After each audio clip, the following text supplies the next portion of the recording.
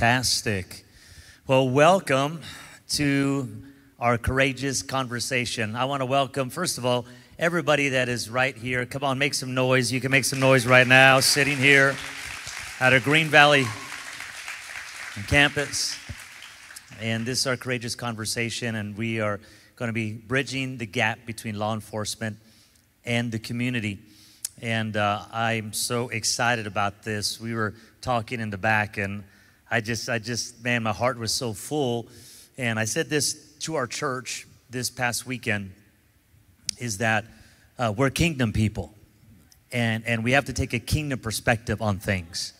And, um, and so that's, that's where we are. You know, I, I say this we're not about the donkey, we're not about the elephant, we're about the lamb. Okay? And, and so, let, let, what is Jesus and his kingdom, and what should we be doing? And so, uh, if you're new, we are having these conversations because we believe in a very diverse church, diverse in political views, diverse in e- economy, diverse in ethnicity and race, that we got to stay at the table and we have to continue the conversations. And even if we don't agree, it doesn't make you my enemy. And, and, and to have that dialogue, and unfortunately, um, as one of our panelists, I'll introduce him just a moment, said, we are living in the most polarized time. And, and it's sad because when there's polarization, there can't be communication. And, and we have to be able to sit down. And, um, and as I said, there's no questions coming from the audience or even online. And um, we're just excited that you decided to join us. I know people are joining right now on our stream on Facebook and at churchlv.com. And again, for the people that are here, um, what I want to do is I want to introduce our guests. I'm going to read a scripture and, um, and then pray, and then we will uh, start the dialogue coming up. First of all, to my left, to your right, is Under Sheriff Kevin McMahill.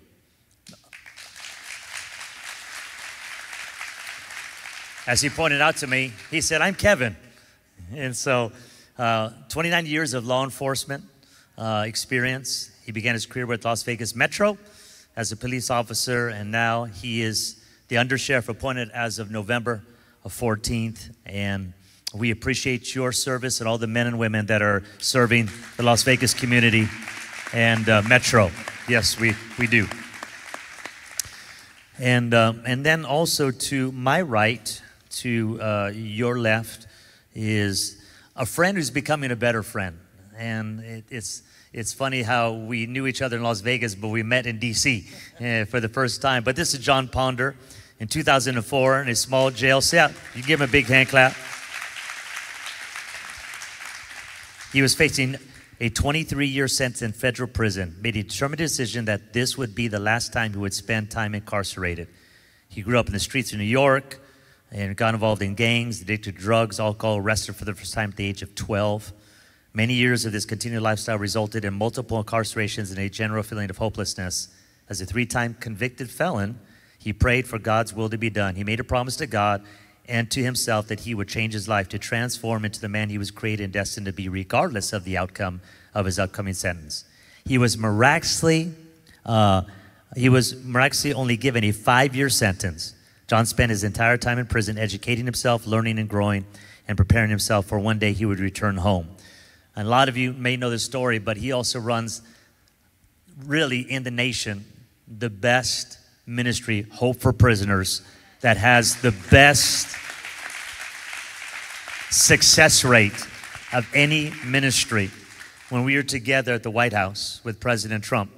And that's where I begin to hear. And if you're at Church LV, we support Hope for Prisoners. Your giving, your generosity is making a difference in hundreds and hundreds and hundreds and hundreds of people's lives. And so John has served nearly 3,500 clients since, since its inception of his ministry and boasts a 6% rate of recidivism, which is 95% success. 94%. It's just off the charts, like I said. We're going to hear more from him. And then I got to meet uh, for the first time Pastor Tony Lowden. In addition, Pastor Tony. In addition to his newly appointed position as the National Reentry Czar Tony Lowden is the executive director of the Federal Interagency Council on Crime Prevention and Improving Reentry, Office of Justice Program, Department of Justice. Yes. He was raised in North Philly in a single parent home and understands the plight of poverty and illiteracy. Tony double majored in economics and government at the University of Southern California. I won't hold it against you, UCLA Bruins, while on the athletic scholarship and earned his Master's of Divinity, come on, from New Orleans Baptist Theological Seminary. He has a long history of work experience and appointed that and appointments that have made him a valuable and contributing person to our entire nation. He is married with a daughter and is currently the pastor of Maranatha Baptist Church in Plains, Georgia. He also serves as, serves as chaplain for the Secret Service in Southwest Georgia. Can we give all our esteemed guests one more big hand clap, online campus? And for the sake of maybe people are, are uh, tuning in online, I am Benny Perez, and uh, I am the lead pastor, come on, of Church LV in the Las Vegas Valley. I want to read you a scripture, and this is Isaiah chapter 58. And um, the prophet is speaking, and he says, We'll begin at verse 11. The Lord will guide you continually, giving you water when you are dry and restoring your strength. You will be like a well watered garden, like an ever flowing spring. Some of you will rebuild the deserted ruins of your cities.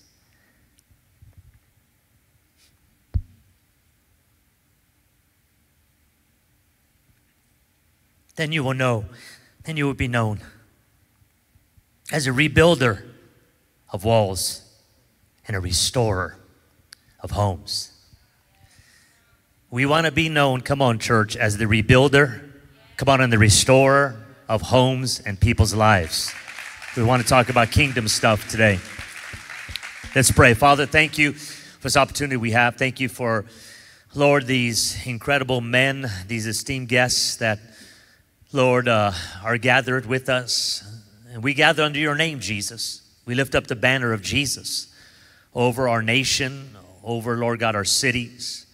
And Lord, as we talk about law enforcement and community and bridging that gap, I pray for open ears, open hearts. Let us rejoice, God, with, with Lord God, the things that are happening as we're seeing people's lives change through Hope for Prisoners, working with Metro, God, and all the other things that we're going to hear about. And Lord, I know there's still uh, ways to go. And I pray, God, that we would continue to, Lord, bridge that gap. And we pray this in the mighty name of Jesus. Come on, everybody say the big amen. Amen, amen, amen, amen. Thank you so much. Well, John, um, you know, we were in Washington, D.C., and we had the opportunity of uh, meeting with the president, uh, President uh, Trump, and it was about the uh, First Step Act, I believe, and prison reform. And it was there that uh, we started the dialogue and, and, um, and, and hearing more about you, what you were doing there than, than even what I even knew here in Las Vegas. And so we wanted to have a conversation. In full transparency, I just reached out to John. I said, John, would, would you do this with me?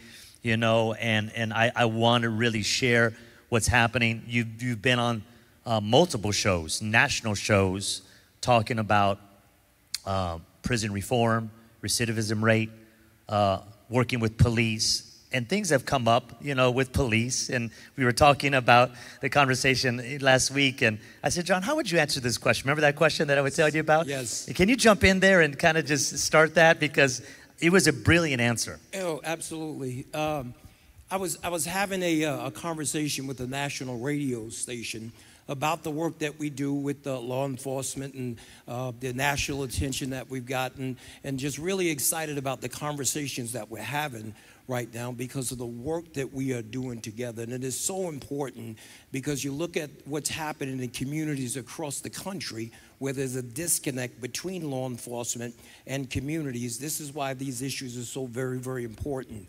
Um, and um, was telling worked very closely with law enforcement and some of my best friends on the planet uh, are law enforcement. Like, who would have thought 15, 20 years ago I'd be sitting on a platform saying that some of my best friends today are men and women from law enforcement. And as this, uh, uh, this, this host was giving me pushback on uh, bad police officers and uh, defund the police and, and all these different things, whatever you're talking across the country, I had to stop in the middle of it because I started taking personal, right? Because I work very closely with law enforcement. And, and, and in the conversation, I, I stopped him and I asked him, I said, You know, let me ask you a question. Are you married? And he said, Yes, I'm married. And I said, Well, I'm pretty sure that you're a good husband. I said, You know, I'm married too. And I try to be the best, absolute best husband I can be. And there are a lot of husbands out there that I know that are really good husbands that take care of their wives and, and love on their wife and they, they don't abuse their wives. But then I said there are some men out there that are abusive to their wives. Some men that beat their wives, and some men don't take care of the wife. I said, please don't lump me in with them. And that's the same thing when we're talking about police officers. Right? That there are some really, really good. I kind of took it personal because I work hand in hand with law enforcement. And I see the men and women from law enforcement with their boots on the ground that are going above and beyond the call of duty and a really, really good uh, police officer. And it breaks my heart when they get lumped in with the ones that are not doing the right thing. And isn't that so brilliant? And we have to be careful that we got to quit lumping things in, right? You know, there, listen, there, there are some pastors that aren't good pastors, but there's some pastors that are actually pretty good pastors. Come on now. I hope that was for me. don't, don't lump me in with those, right? In fact, as a pastor, I, I, I want, I, I, I don't like those pastors that are abusing people doing things either. I mean, it, and so, so we have to understand, folks, that we have to make sure that we look at things the right way and not just, just, just putting all, just throwing out the net with everybody. And, and it's interesting because you're a three, you were a three-time felon, and, and you said, well, how many years ago would you ever imagine you were sit, you would be sitting on the platform with under sheriff, you know, make make Kevin, okay, you know, this is what the grace of God does. This is what God can do. Absolutely. I, this is a picture, folks, right here of what, what can actually happen. Okay, this isn't this isn't a a, a uh, well let, us let's, let's make a hypothesis or let's let's make let, let's just talk about what could be. No, this is what's happening right now. Yeah. And I think this is the way it's supposed to be. Um, as followers of Christ, as believers in Christ, you know, the Bible says that God had reconciled us to himself through Jesus and has given us the ministry of reconciliation. And this is what this is all about reconciling relationships with other people, right? And I think that that's what the, if, if we can get that right across this country, that we are to be in relationship with each other, I think that you will see a lot of the issues that are taking place uh, in, in our community just go away. And this is why having conversations like this to promote, let's talk, let's, let's get to know somebody. Kevin, I, I want to throw it your way for a second because uh, I think it was John was telling me. What motivated you to become a police officer 20 some years ago? Um, you know, I don't know, what is it, what, how many years have you been a police officer now? Yeah, I realize I need to give you a new bio, John. I actually just hit my 30th year on September 11th. So, um, you know, I, I, uh, I, was born in California, but I grew up in Colorado, and uh, my father was a uh, fireman for the Denver Fire Department, and so um, many of the uh, males in my family all served in the military at one point or another. So I really kind of had a uh, no choice but to move towards that line of service. And if the truth be known, uh, my dad and mom wanted me out of the house as quickly as they could get me out of the house because I was, I was either going to go become a criminal or a cop, one or the other, right? And kind of right down the middle of that line. And so I had the fortune to join the United States Army in 1986 and served three years, and uh, and then uh, hired on at Metro at 22.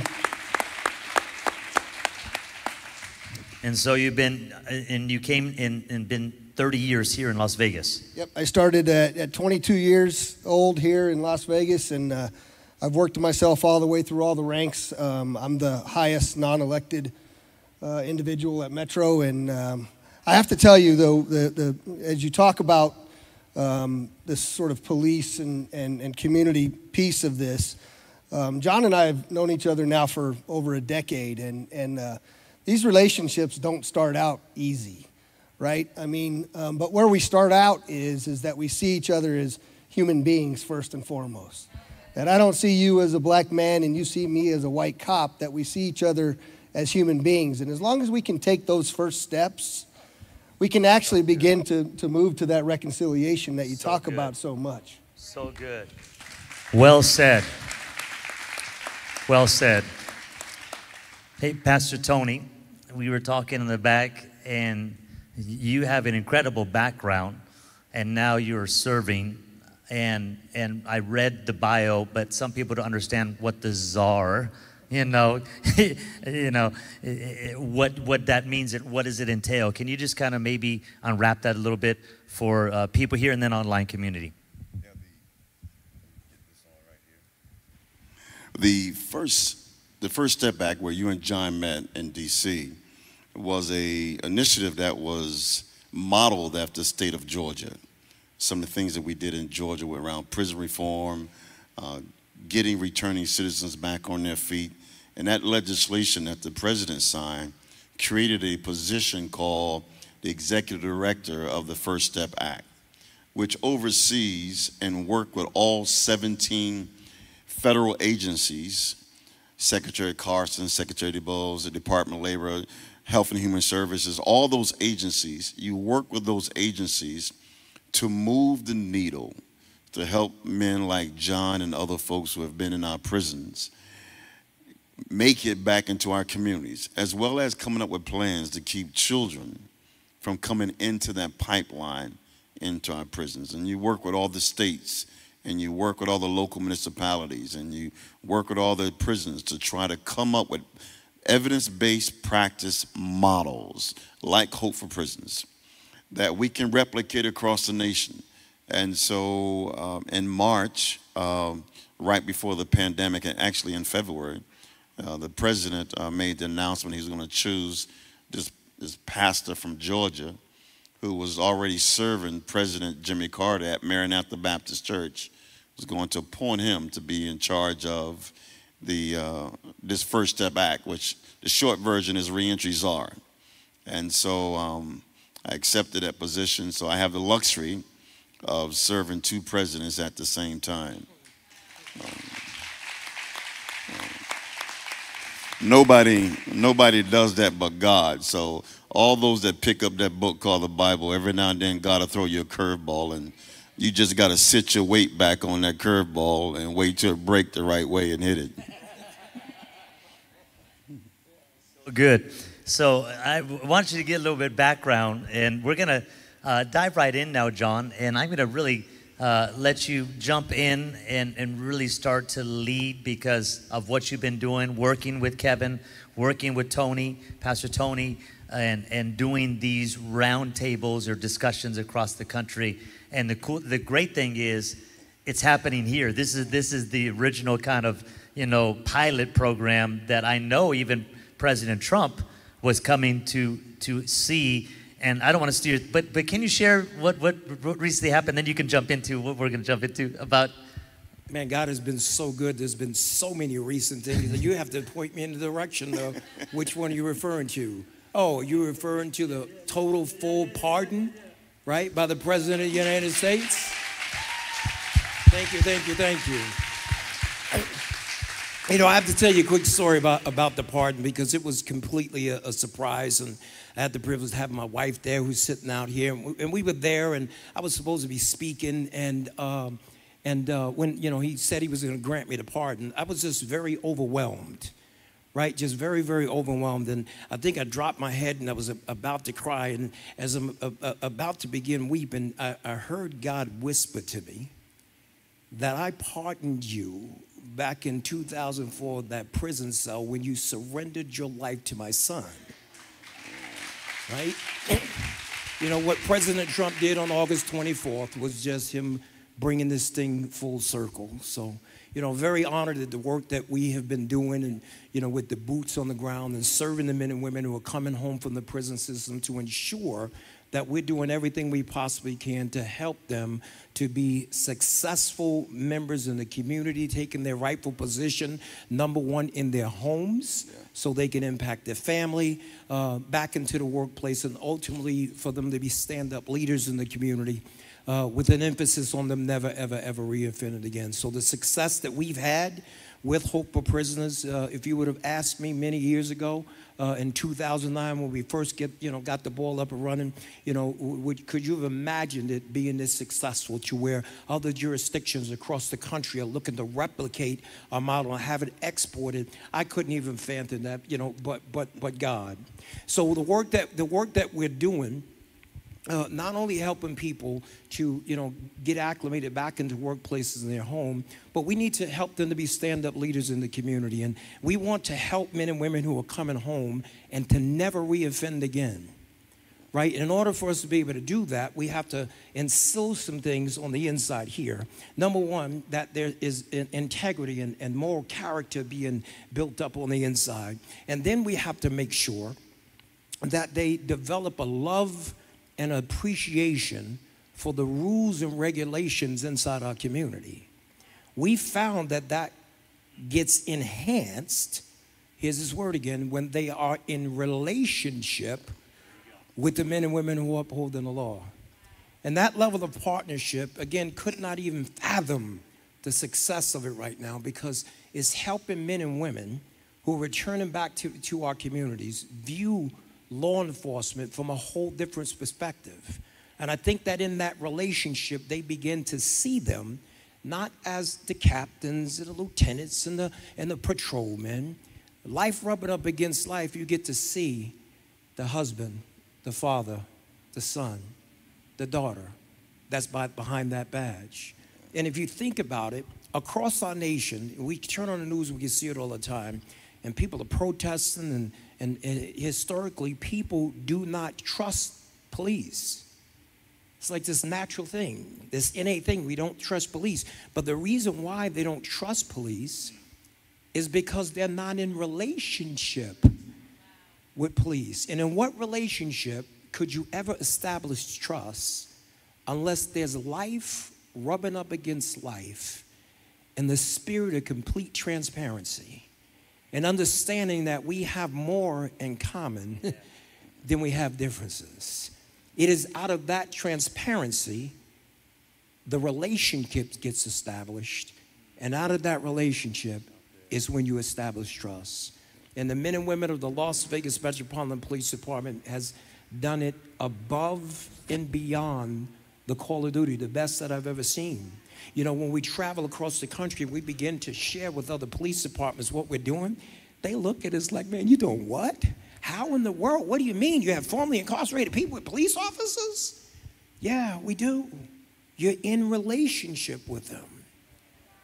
Right? And some of those relationships you have, we have the arresting officer who arrested a gang affiliated person 17, 18 years ago.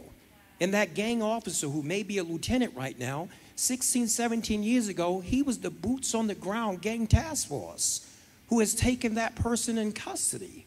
And here it is 17 years later, life rubbing up against life. To this day, they're best friends. The officer, you know the, the, the lieutenant tells me? That this person mentors him. Right? This person is mentoring him. But it's, it's all about, it's all about the relationships, and the relationships are, are key. And I don't care uh, what sector you are in, in, in walking on this earth. God created us to be in relationship. Yes. And when we're not in relationship, there's a disconnect that just disrupts everything. And if I was the enemy, though I'm not the enemy, but some people think I'm the enemy, but if I was the enemy, I would fracture relationships.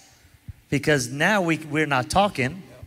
We, we, I, I look at a uniform, I don't look at a husband, a son, a daughter, right? And now, and, and I like what you said, Kevin. We're, we're, we're human beings. We're, we're, you know, we're, we're not first and foremost black or white, uh, but, you know, we, we are part of humanity.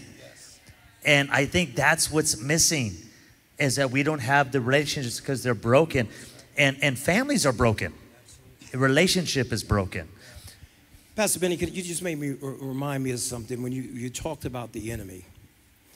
Have you ever thought about how close that word enemy comes to the inner me? This is what we need to get all across the country. Think about how close the word enemy comes to the inner me. And listen, I spent a lifetime fighting enemies on the outside until I took a look at the enemies that were laying dormant on the inner me. And when Jesus helped me to conquer the enemies on the inner me, the enemies on the outside disappeared. That's when I had come to the understanding for John Ponder, it was never the police. It was always what was going on on the inner me. But the Bible says that when I was a child, yeah. I thought like a child. I acted like a child, and I did childish things. But then it says, when I became a man, yes. I put the childish things away and the enemies on the outside disappeared. This is why I can say the men and women behind those badges are some of the best friends that I have on this planet. Pastor Tony, can you jump in here? And, and you guys have been working together, known each other for a number of years. Well, I was going to sit down and get a piece of paper and write out his license so we can go and get him ordained today. right.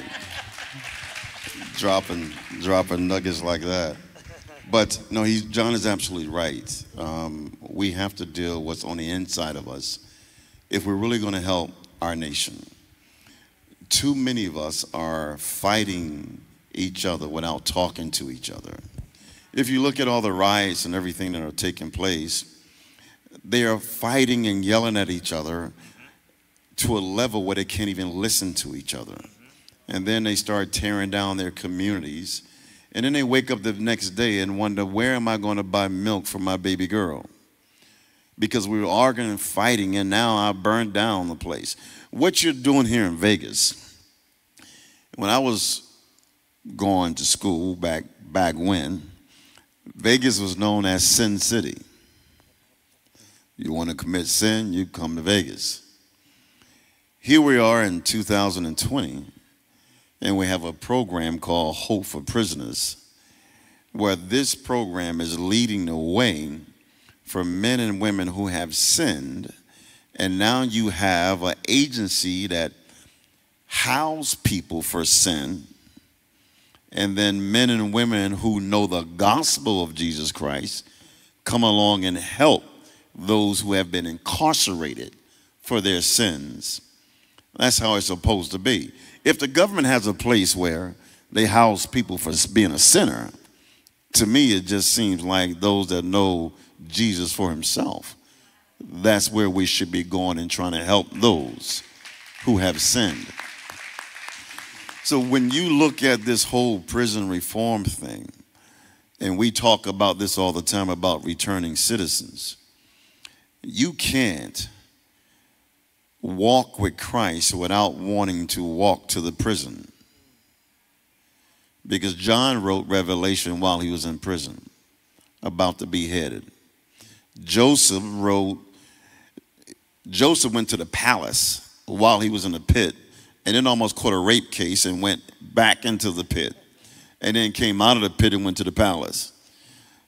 David should have been in prison for premeditated murder for a woman that he saw and had her husband killed. If you look at Paul and Silas all throughout the Bible, in and out of incarceration, they too were returning citizens. And it's Jesus that we preach about. He was a returning citizen after being convicted by religious folks and government folks and came out of the grave to give people pardons like John Ponder's. And that's why that's why I'm excited about this whole criminal justice reform First Step Act, trying to bring communities together and have this very valuable conversation. Because if we don't have this conversation, there will always be stigmas against people who have been incarcerated, who have had sin in their life. I grew up in North Philadelphia, one of the worst ghettos in America, but some of the greatest sports teams in America. Just always have a hard time winning championships. But anyway, in the, in the neighborhood, you know, a lot of people that I grew up with are either dead or in jail. Crime in those communities every day. And I went back there last week and I drove through my old neighborhood and nothing had changed. Same empty blocks, same vacant lots, same beer cans, same trash. I mean, just, just a terrible cycle. And I ask myself the question where is the people of faith? And even when I see the rioting on TV, I ask myself, where's the people of faith? Because we've gotten so good at sitting that we don't go out and share the gospel of Jesus Christ, where we can have those relationships, where we can help those men and women who are coming out of prisons, where I can see that this here sheriff's heart is a servant leader who wants to serve. Well, I can see the fact that, yes, we have differences and things, bad things are going to happen. But one thing we understand more than anything, the Christ that we serve don't do funerals. He don't allow things to die on his watch. Lazarus come out of the grave the woman of issue blood who was dying. Hey, get up. Come on. I'm attracted to your faith. Someone made a demand on my ability. He don't allow things to die. That's why he said, I defeated death. And here we are dying around each other. How can the church sit around and read that little boys and little girls are being put in sex slave in their communities and do nothing about it? How can the church see that we have men and women shooting each other on the streets and do nothing about it. We, we're supposed to leave, and I, I'll shut up with this that you might not get this, but it's in the Bible. The Bible says that government sits on his shoulders.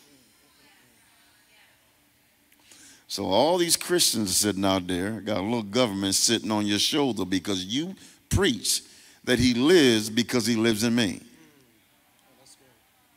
So, but then we get these wedge issues that pulls us apart. And then we choose either the donkey or the elephant and not the lamb. I'm going to use that more often. But I share this with you, and I hope you can hold on to this, especially for those in the church. Jairus, religious man from the synagogue, went looking for Jesus because his daughter was on death's door. He gets Jesus and they're walking together on his way to the house and Jesus get interrupted a wedge issue by another situation with a woman with the issue of blood and she grabs the hem of his garment stops Jesus in his tracks and Jairus' problem got put on the back end because he was walking with Jesus and Jesus stopped. Jesus healed this woman and said, Because your faith that made you whole. And during that time, Jairus gets a message that says, Don't bother bringing Jesus because your daughter has died. And Jesus, who don't do funerals, said, Don't be afraid, only believe. So, my question to you when did we stop believing? That we can do all things through Christ who strengthens us from our communities to our prisons to our hospitals during a pandemic to every issue that have whenever there's an interruption in our communities in our life jesus says don't be afraid only believe and we're hiding i get it the pandemic make you hide but remember there's always been a pandemic. Moses had a pandemic. When the snakes was biting people on their, on their ankles and killing them. Moses had a pandemic, but the vaccine was beat some brass into the very thing that's biting the people, lift it up, and if they look at it, they shall be made whole. Christ always given us the vaccine. Why are we hiding and afraid?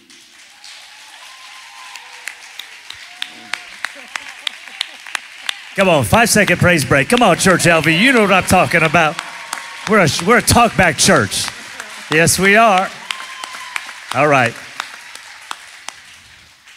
You know, it, it, it is so, you, you bring up the wedge issues because the, the enemy is into division. The enemy is confusion. What does the Bible say? Where there's division, strife, envy, you know, that's not, that's not the spirit of Jesus. I hear people say, well, I'm standing up for righteousness, but you're not doing it in the spirit of Jesus. And I think the spirit of Jesus is as significant as what you're standing up for. And and my heart, and as a pastor in this community, we've been pastoring. We started this church in our home with 27 people. 25 people we did not know. I was out on a church staff. I, I, I didn't know very many people at all. And God called us to come to Las Vegas in 2001, and we started church in 2003. You would have told me 17 years later, look what God has done multiple campuses. You know, uh, every week this church is reaching with our care packs. Hundreds and hundreds of people every weekend are getting practical assistance, right? We're, with our youth. A big shout out to Pastor Stan Hicks, who goes and preaches into the jail and the prisons every week uh, hundreds and hundreds of, of and, and other chaplains are going in there. This, this, is, this is Jesus. This is Jesus. Jesus commands us and compels us to go out there. Pastor Tony said something in the back room, and I said, he says, if you're going to get attacked, but you won't get attacked if you're not doing nothing. And, and, and I just want to start doing more stuff. I'd rather be misunderstood for doing something than misunderstood for not doing anything. So, so, you know, because I hear the narratives and I have friends on both sides. I got attacked because I went to sit with President Trump just by sitting with the president. You, you got attacked too, right? And and I am like, wow, I mean, just visceral stuff on social media. And I said, if President Obama would have invited me, I would have went to the White House. Right? It, it's, it's like you can't have influence if you don't sit at the table. You can't have influence if you don't talk. And, and, and one of them was so, so I looked up on their social media and right away it's their political party that they're pushing. And I'm like, listen, we all have our opinions. But when I stand before Jesus, He's not going to ask my political party. He said, um, When I was in prison, yeah. did you go visit me? Right. When I was hungry, did you feed me?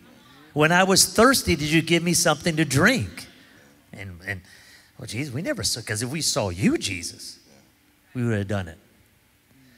Maybe the person we're vilifying is really Jesus that we need to actually look at people differently.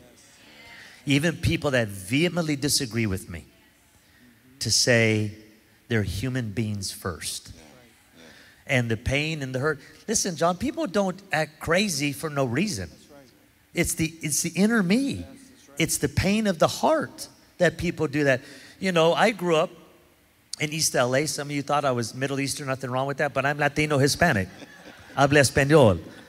Just saying, number one ethnic group in America. Hey, um, you know, if I run for office, I'm going to win. No, um, but but but the issue in so many, at least where I grew up, was the fatherlessness. Yeah, yeah. There is no dad in the home. Yeah. So now you have a young man trying to become a man without the right role model. Because if you follow the wrong model, you're going to replicate the wrong model. And for the brokenness in the homes, this is where the church should be coming in. This is where mentors should be coming in. This is where we say, hey, listen, we want to come in and we want to help you. Talk, talk about that because I, I, I, I'm sensing something. Uh, biggest thing when we, we have young men and, and young women who don't get a rites of passage into manhood and womanhood because of a broken family, a broken home, you're going to have scattered children who's trying to find their way. And the devil operates in that space to go after those lives because the church don't come in and replace that fatherhood or that motherhood. He says, Go ye there making disciples, and we saying, Come disciples to the church. But we don't get the word go. And we got to get to the point of saying, I'm willing to go to the prisons. I'm willing to go to the hospitals. I'm willing to do whatever it takes to help our people. I think reason why we're so scattered right now that the church did not prepare for the next supper. We preach about the last supper, but we never help our communities to get to the next supper. Here's the point why I say that. We have in my community, in your community, we have black and brown, the majority in our prisons. But it's not the majority of the people that are coming inside the prison to minister to them.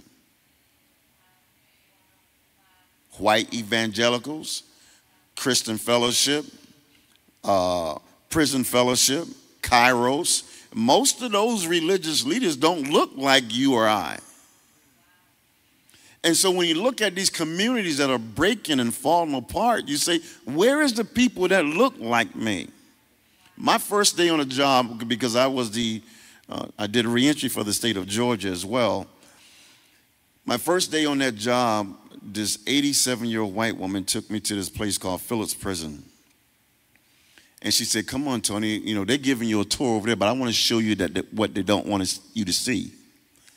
And she took me into this place where there was a hospice inside the prison. And there was this African American man laying on a bed there, and he's making his transition between earth and the door. And he looks up to me. He said, "How you doing, brother?" And I said, "Hey, brother, how are you?" And he, I said, "Is there anything I can do for you?" He said, "Could you just get a pastor to come up and pray for me?" It kicked me in the gut because the fact he was looking for that when he was trying to get to the door. Some of y'all will get that when you get to the door, but here he is making this transition and he's asking me to get him a pastor. And then I, I said, Brother, well, well let me pray for you because I'm a pastor. But it, it bothered me. It gave me this fire on the inside that we got to do whatever we can to get people inside the prisons and hospitals that don't want to come into the prisons just to cut their teeth, but to build a relationship with those men and women the time they're incarcerated to make a transition back into the community, to deal with, with the stigma. When we do that, we change our communities for the best.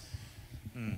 And, and I like what you're saying because you, you have mentorship programs Absolutely. with Hope for Prisoners. Yes. Let's talk about that because Sure. I, I think you maybe you're watching online and you're here in Vegas, there's opportunities for you to actually be involved in seeing people's lives changed. Yeah. Absolutely. Let me let me tell you the reason why that's so uh, important. Uh, and you look at the breakdown in the communities, right? People coming out of those communities just to break down their community. One thing that we've learned, and I speak from my own personal experience, is that the, the vast majority of people, they really want to change. They have no idea how to do it. And for so long, we've been telling people from this segment of the population coming from those communities that, you know, to get out of prison and be a productive member of the community, and they have no idea what that looks like. Or we tell them to go get a job and, and, and, and take care of themselves, and some of them have never worked a day before in their life. Or the big thing is, we tell males to come home and take their rightful positions in their home as fathers and sons and husbands and have no idea what that looks like. So it's important that we come along and we, we train people through mentorship to help them, train them up to take their rightful positions in the home. And when the man, because he's the priest of the household, takes his rightful position in the home and raises up his children, then his home is going to impact the church. And then the church goes on and impacts the community. Then the community goes on and impacts the state. And this is how we see this magnificent transformation all over the country. But you cannot do it by, them, by yourselves. This is why that mentorship is so important. If you ask anybody who has ever achieved any significant level of success in life, how did you do it? How did you get to where you are? If they're honest with you, they're going to admit to you that they did not get there by themselves. They had people that were in their lives that were guiding, directing, coaching, push, pulling, dragging every single step of the way. And this is why that partnership with law enforcement is so important. You don't realize that the sheriff has given our organization just a little over a hundred men and women from the Las Vegas Metropolitan Police Department that serves as mentors. Listen, let me, let me, let me show you how big the God is that we serve. Never before in the history of reentry, nowhere on this planet to this magnitude has law enforcement gotten this involved in mentoring and training men and women who are returning to communities all the way across our valley. And it's causing such a win win on just both sides. I mean, I don't have time to unpack it, but listen, it's helping men and women view law enforcement from a whole different perspective. But you know what the big win is? It is helping law enforcement view people returning to the community who are really truly fighting for a second chance it's helping them to view them from a whole nother set of lenses. And when they see that, their heart has compassion to see what it is that they can do to help them not only not get arrested, but what can they do to help individuals coming back to the community begin to experience levels of life that most people only dream of? Oh, Pastor, Sheriff, I came to a graduation and I watched the sheriff's heart. I watched his men and women heart. And then I heard a story, and I want the sheriff to elaborate on this story because it needs to be told. There was an officer there who I believe he was Jewish, and he arrested a woman who was on drugs, and during that time she was pregnant. Pregnant with a little boy. She's had that baby this arresting officer now, after she did her time, is now mentoring her in the boy. The same officer that put her in prison is now the same officer that is mentoring her. No place in the country. And that's why, you know, that old analogy, what happens in Vegas needs to stay in Vegas. No, no, no, no, no, no, no. That's why we are amplifying everything well, no, God is amplifying everything that this man is doing here in Metro. So, sir, if you can elaborate on that, that story a little bit. Um, you know, imagine being me, right? I get a, we've been doing this all over the country. I'm up here with two black pastors and Pastor Benny, and they can tell stories like nobody's business, right? It's just so amazing every time we do this. I get to learn something more from, from all of you, so thank you. But, you know, um, I do have to say, though, as you, go, you were going back to the attack, one of the things that I could certainly identify with is the attack. Certainly today on the attack on law enforcement. And, you know, I have 6,000 men and women that work for me, and probably none of you go to bed at night knowing that hundreds of your men and women are out there in their 20s running around with guns and and confronting people who don't want to be taken into custody. It's something that keeps you awake all night, all day. Well, what I will tell you is, is that I know their hearts and I know their minds, and there's so much to talk about with this, but the truth is, is that we had policies that said we couldn't associate with persons of ill repute, we couldn't consort with persons of ill repute. And quite frankly, when John came to me, I, I really didn't want to, to partner with John because I'd seen program after program after program take money and do absolutely nothing with it.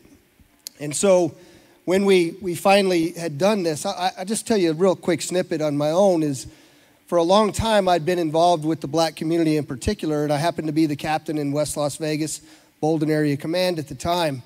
And um, one of the things that I would say consistently to the community that when I would hear that we don't care was that, you know, in my 30 years now, I've stood at the scene of hundreds of people that have been murdered.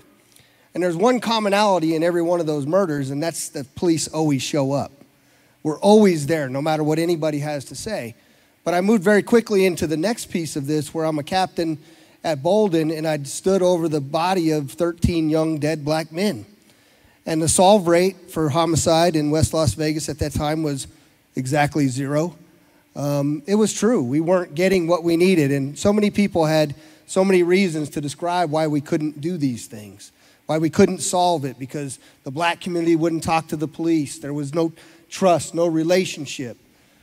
And I just wasn't going to accept that as, as part of the answer. And there's a lot of other stories here with it, but when you meet John and, and John comes in the room and he tells you what he wants you to do, and, and as we start to move this program forward, I have to be very candid with you that, um, well, first off, I always say that there still is a need for a prison ministry. Don't get me wrong when I say that to you.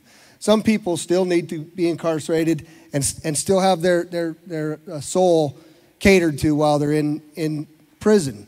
But the reality of it also is that we've done nothing for so long to, to these individuals that found themselves in a position, committed a crime, went to jail, served their time, came back, found themselves right back in the same position.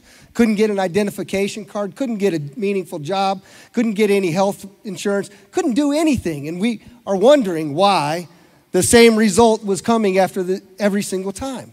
And so our, our attempts really at the very beginning, you know, we, we were having trouble keeping the lights on at, at Hope and trying to figure this out. But when the idea came that we were going to ask police officers to be mentors to returning offenders, I thought I would spend a, a bit of my own capital. And I asked about 60 or 70 people that I had a lot of influence over to, to come in, and, and I, I asked them if they would be willing to do this. And only got about six or seven takers at that time. Today, I have every rank of our organization, from myself on down to a patrol officer, uh, that spend, they don't get paid for it. So when you hear that, don't, don't think that I'm giving them money to go do this. They're doing this because I know what happens with, with human beings in particular, but also with the men and women that take and, and, and, and sacrifice enough to wear this uniform. And that simply is if you capture them in the heart, the rest of it will follow. Yeah. And that is just so, so important as we move forward. And I, will just sort of wrap part of that up by simply saying to you, you know, we have this narrative out there in today's world about cops, right? And sometimes we're our own worst enemy. But I will tell you that for many years, the police have been the ones to have to, to deal with all the failures of the rest of society. In other words, mental health, right? The Clark County Detention Center is the single largest mental health facility in the state of Nevada, and that is not right. Okay? Fatherless families, unemployment, underemployment. The list goes on and on and on. If you want to be honest, unemployment during the good times here was down to 4%. You go into black communities, still over 30%. We don't have honest conversations about these things, these courageous conversations that you're talking about having in this church. But those are the real things that we have to do.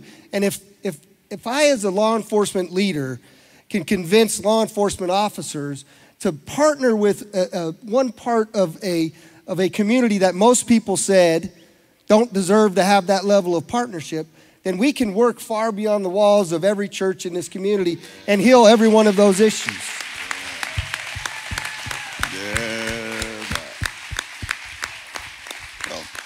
Sheriff, I, I think we're going to, you know, we're going we're going to ordain John, but then we're going to run you for governor.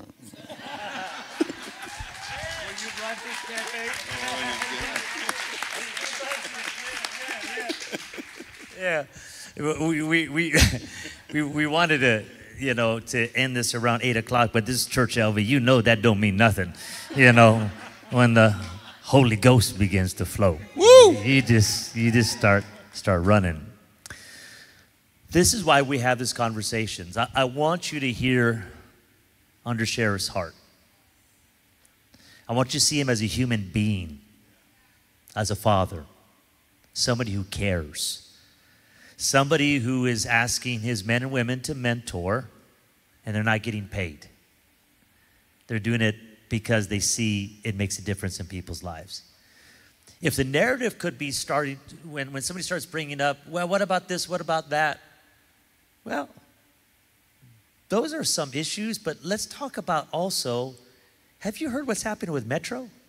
Have you heard about 100 mentors that are taking place?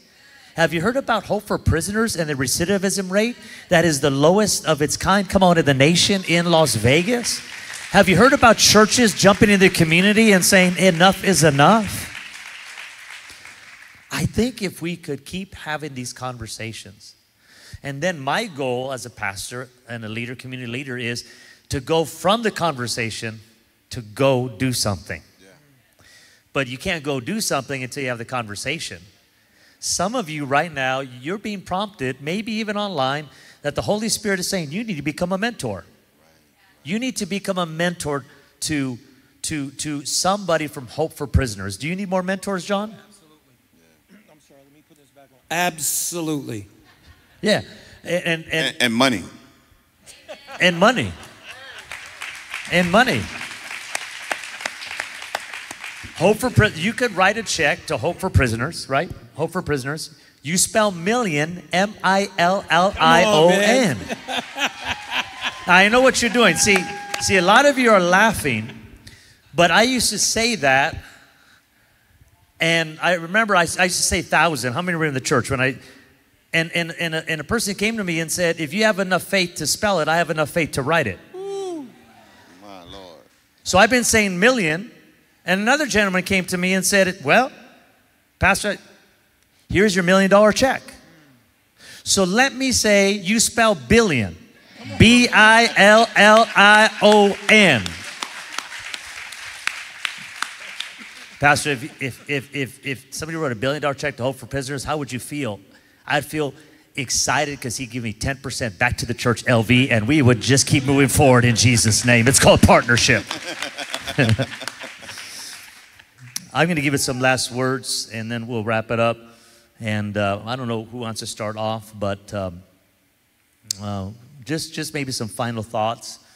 And, um, and, and one other thing, uh, you said you have some basketball program or something like that that, that, that Metro puts on for, for, for youth or for kids. Can, can that, I thought I kind of heard that in the background.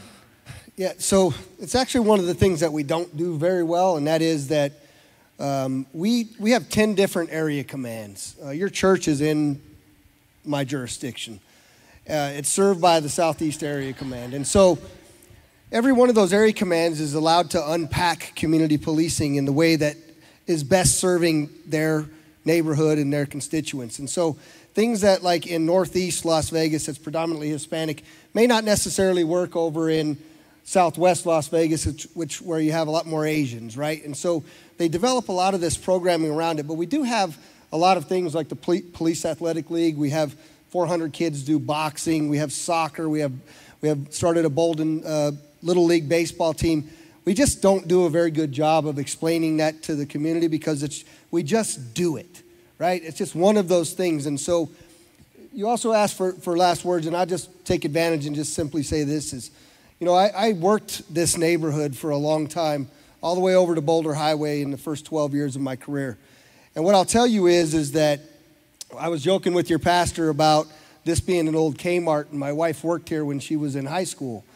And the reality of it is, is you've done a magnificent job of transforming this into God's place. But I would also um, ask and challenge you as much as you can to look beyond the four walls of this great church and see how it is that you can help this community, not only entirely in Las Vegas, but start somewhere. And you have a lot of areas that are challenged immediately around your church, just as, just as any other church does. And so don't take such a giant step that you, you get sort of beat back down where you can't have some success. I know you do much of this work anyway, but take those small steps that you're going out and you're making that immediate difference so that you can grab everybody by the heart and continue to move forward because when we all know, when we all believe, we can achieve, right? We all know that. And so thank you very much for, for having me. Uh, I'm, I'm really impressed what you've done here, and, and I appreciate all of your time as well. Pastor, thank you so much for having this honest conversation. This is the conversation that the churches need to have all across the globe if we're really truly going to put Christ on display. I, I would say this you know, we have 185,000 men and women in our prisons that are veterans. who one day are going to come home. But the question that we have to ask ourselves how did our nation get to the point that men and women can go fight for Old Glory, serve two and three conflicts from Afghanistan to Iraq, you name it, they serve it, they do it, and come home and find themselves homeless on our streets, then addicted to drugs, and then in our prisons or sitting in a jail labeled as mental illness. And we do nothing. How did we end up allowing so many of our future workforce in our prisons? In the church, we still clap our hands and we give Judah praise, but we don't give any faith work. How do we get to the point of elected leaders who allowed stigma to stay on people like him? In 2015, we had 205,000 men in our federal prisons. Because of what Hope and Youth has done, because of the First Step Act signed by this president, because of all the things that we've done, we ha- we're down to 148,000 men and women in our prisons now.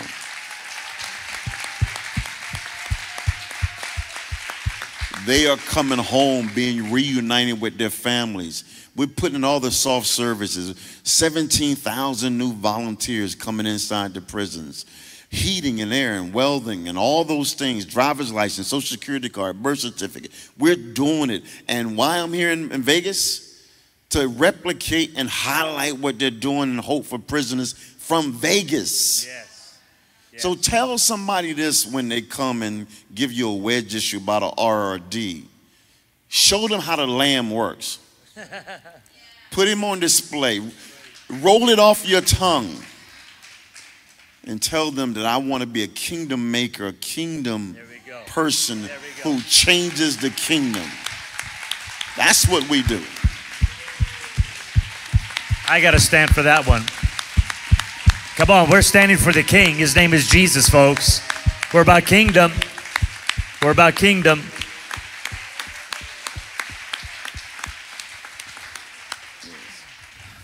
Are we going to ordain him tonight? We got some oil. We're going to We ordain him right now. And- and hands on you, John.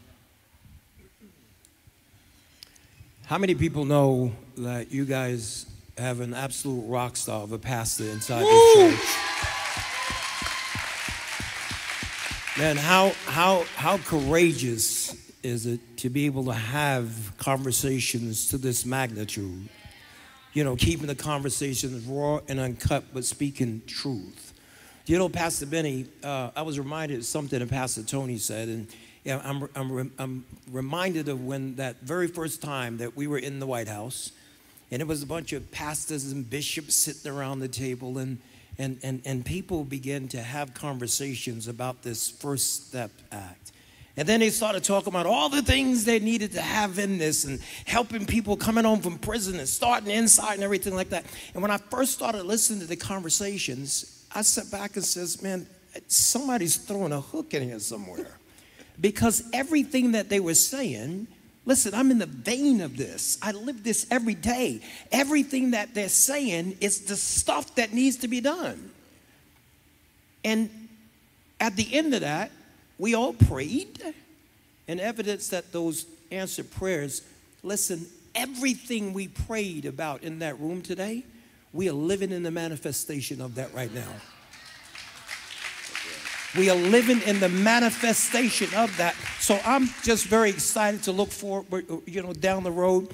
But you know, what what can a church do? And I know your church does uh, an amazing job, and and the people in the church that that love Jesus. I remember about eight years ago. I'll tell you this quick story. There was a young man who moved out here from Tennessee. And by this time, I'm three or four years in the Hope for Prisoners, and I'm connecting the dots in the community and got people all over town. This young man came in and he said, um, You know, I'm stuck, just came from prison. I don't know what to do. And I told him to sit down in front of the desk, and here I am, go to my resources. I pick up the phone and I start calling a good friend of mine who was over the Clark County Social Services, right? Because I'm thinking in my mind, I got to give him food stamp, riddle assistance. Don't worry, I'll take care. So I called and, you know, asked for his name, and his, his secretary says he's on the call. I'll hold. Told the guy, wait. And as I'm sitting there on the phone, I clearly hear God say, hang up the phone. And I hung up the phone. But I know God is about to speak to me, so I said, Oh, yeah, he's going to call me back. Would you step out in the lobby? And then I closed my door and I started to having this conversation with God. And God said to me, Look at what you were about to do. You were sending this young man outside of the body of Christ for a resource that I have equipped the church for.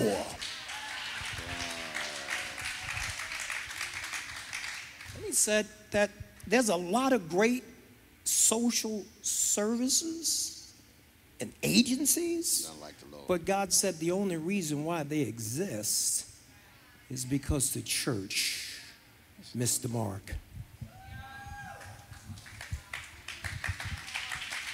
But I think that when all everyone comes together, everyone who is the believers in Christ, listen, when we all come together, listen, on one accord, come together on one accord, that's when we will experience across this nation a book of Acts experience. Because you remember when the, the disciples in the upper room, mm-hmm. the Bible says that they were all on one accord.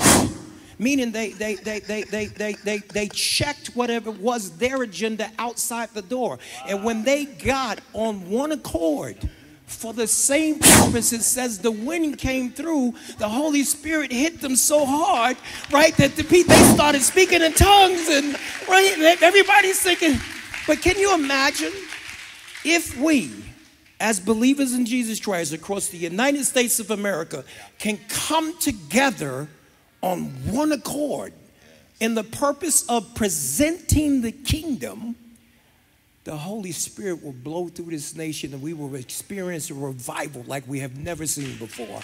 And that's where the true healing will take place in our land. It's almost like you don't want to end the conversation. Maybe we have to do a part two uh, sometime in the future. Uh, my last words, when you look at the disciples of Jesus, Jesus chose some interesting people to follow him. He chose a zealot who hated the government, and he chose somebody who worked for the government and put him in the same dorm room. When you look at the disciples, we look at them and sometimes we think they were like 12 godly men. I call them the dirty dozen. They were just like you, just like me, having their own issues. Like, I want to sit on your right hand, your left hand. They had power issues, power struggles. And yet Jesus worked with them. And the one thing that brought a zealot and a government worker together was Jesus. Jesus has to be the center of what we're about. Healing will come at the cross. Equality comes, come on, somebody, at the cross. Okay? So there's neither Greek nor Jew, male nor female. What does that mean? That means we're all the same in, in, in God's eyes. The hope for America lies in the church of Jesus Christ rising up, rising up in diversity, in unity, and saying, No, we have a, a better answer to all this stuff that's going on. And it starts with building relationship. It starts with having the tough conversations. It starts working with Democrats and Republicans, having those conversations. And ultimately, my role as we were in the White House together, and without divulging too much information, but it's amazing when we prayed, John, in that room. That God came into that room.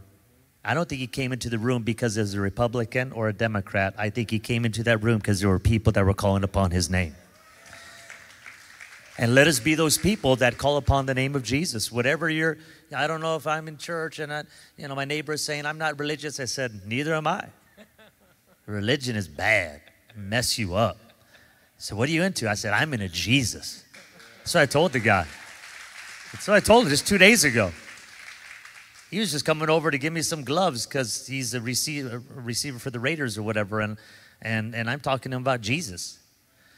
Don't just let it be in a church. God has you in your neighborhood to be a light. God has you at your job. Come on, to be a light. There are people that are depressed everywhere with this pandemic, this COVID. Talk to people. Give them a word of encouragement. Let them know, listen, I'm going through it too. Can I pray with you? I have, I have yet, when we do our outreach, I would say, where's Christian? How many of you think 90% of people receive prayer now? Before the COVID, people just come, that's good. Now, hundreds of people lining up. Hey, can we pray for you? Yes. And they're crying as we're praying for them. And, and, and one lady in particular, she said, Thank you. She goes, Man, I thought I was coming for food, for necessities, but I came for my soul. And that woman's been coming back week in and week out for prayer. When is the church opening? We're open now. So I want to say a big thank you. Can we say a big thank you to our esteemed panel one more time? Come on, can we thank them? Come on, Pastor Tony flew in. He flew in, I think, from, from Atlanta, Georgia. Okay? So, and, and thank you, Under Sheriff. Thank you, John. You know what? We, we're going to get you more mentors, and uh, we love supporting your ministry. I think we need to up what we're giving to you. And who, who, how would agree with that? We should, if you go to our church, how many think we should give more to, to John Ponder? Keep your hand up. Keep your hand up. Okay. Uh, thank you for that check. Thank you for that check. Thank you. Thank you. We'll receive it afterwards in Jesus' name. Pastor, let's pray. Father, we just thank you. Uh, my heart is full and overwhelmed. The need is so great. We have five loaves and two fish. But when we put it in your hands, Jesus, you multiply. Lord, lay my hands on John. God, multiply even greater what he's doing with Hope for Prisoners. Multiply his finances for that ministry. I lay my hands on you, man. And I pray that you get double of the mentors you have right now. I pray in the name of Jesus that even during a pandemic, there's increase, increase in every way, continued favor in in the government, continue favor on both sides of the aisle, continue favor that the name of Jesus would be glorified. I, I pray for you, Under Sheriff. I lay my hands on you and I declare blessing upon you. Blessing upon your department. I pray for you. God give you wisdom. God give you insight. I pray that your department, Metro, will continue to build those relationships, those mentors that are mentoring people that they've even arrested now that they're mentors. Let that story, Lord God, be told. Father, I thank you for Pastor Tony. Thank you for what he's doing, God, as he's been appointed by this president. Father, I just thank you that you prepared him for such a time as this. Thank you for unprecedented favor, open doors, open, opportunities. I speak healing to your physical body, strength to your soul, strength to your body in the mighty name of Jesus. And Father, I just thank you for this church. Thank you for Church LV. Thank you, Lord God, that we will stand and continue to say, God, that we want to see people encounter Jesus and to see them come to new life in you. And we pray this in the mighty name of Jesus for online campus and right here at Green Valley. In Jesus' name. Come on, everybody say a big amen. Amen. Thank you for being a courageous conversation. We love you all. Thank you so much.